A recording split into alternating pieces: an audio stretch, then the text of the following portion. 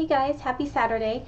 I am waiting for my mom to come over. She'll be over soon. The kids are still sleeping and we'll probably just um, take them to breakfast and hang out a little bit. So I thought I would just do a quick outfit of the day. I have this dress on. I've showed it to you before and um, I've just changed up the accessories a bit and I really love it. It's very retro and I feel like very 70s in it. It's a lot of fun.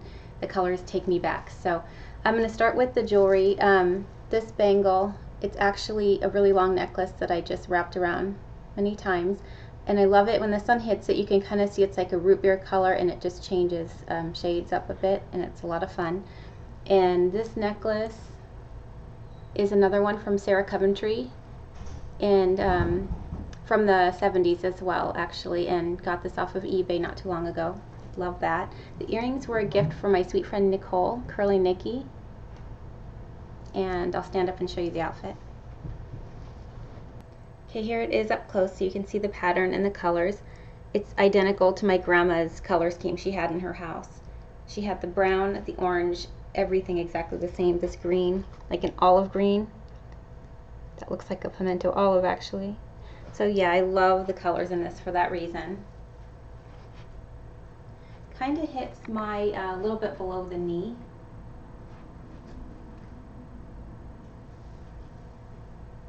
and also I have my glasses here. I'll show you the sunglasses that I'm wearing. These are Prada's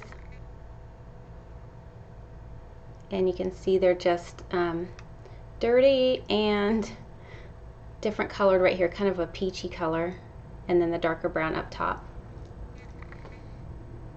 Should have cleaned them first, but you get the idea. Yeah.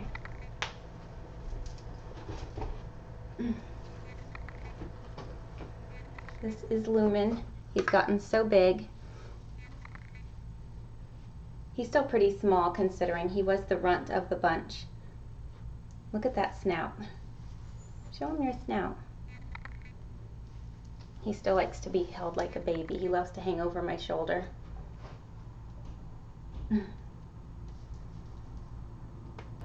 The shoes I have on today are the same ones as the other day, the Franco Fortini.